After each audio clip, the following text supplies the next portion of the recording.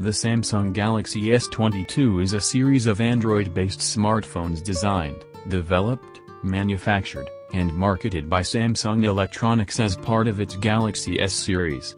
Unveiled at Samsung's Galaxy Unpacked event on February 9, 2022, the series serves as the successor to the Galaxy S21 series and Galaxy Note 20 series. So, welcome to our new product review episode.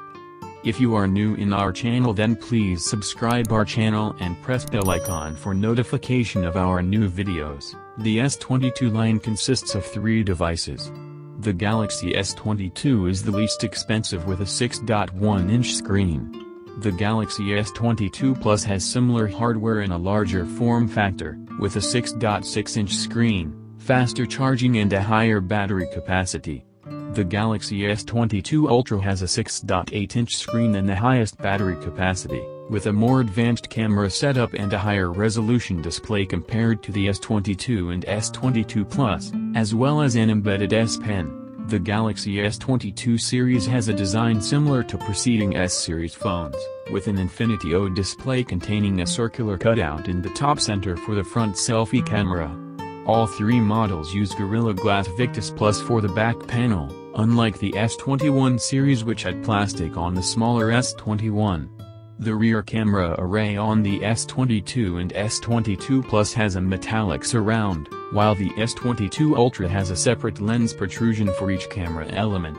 The S22 series featured Dynamic AMOLED 2X displays with HDR10 Plus support and dynamic tone mapping technology. All models utilize a second-generation ultrasonic in-screen fingerprint sensor. The S22 and S22 Plus offer 8GB of RAM with 128GB and 256GB options for internal storage. The S22 Ultra has 8GB of RAM with 128GB as well as a 12GB option with 256GB, 512GB and 1TB options for internal storage. All three models lack a microSD card slot. The S22, S22 Plus, and S22 Ultra contain non-removable 3700 mAh, 4500 mAh, and 5000 mAh LiPo batteries respectively. The S22 supports wired charging over USB-C at up to 25 watts while the S22 Plus and S22 Ultra have faster 45 watts charging. All three have Qi inductive charging up to 15 watts. The phones also have the ability to charge other Qi-compatible devices from the S22's own battery power, which is branded as Wireless Power Share, at up to 4.5 watts. All three phones support 5G SA and networks. The Galaxy S22 supports Wi-Fi 6 and Bluetooth 5.2, while the Galaxy S22 Plus and S22 Ultra support Wi-Fi 6E and Bluetooth 5.2.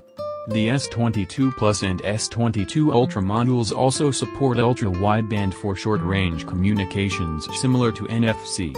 Samsung uses this technology for their new SmartThings Find feature and the Samsung Galaxy Smart Tag Plus. The S22 and S22 Plus have a 50MP wide sensor, a 10MP telephoto sensor with 3x optical zoom, and a 12MP ultra-wide sensor. The S22 Ultra retains its predecessor's 108MP sensor with 12-bit HDR. It also has two 10MP telephoto sensors with 3x and 10x optical zoom as well as a 12MP ultra-wide sensor. The front-facing camera uses a 10MP sensor on the S22 and S22 Plus, and a 40MP sensor on the S22 Ultra. The Galaxy S22 series can record HDR10 Plus video and support HEIF. The S22 Ultra is the first S-series phone to include a built-in S Pen, a hallmark feature of the Note series.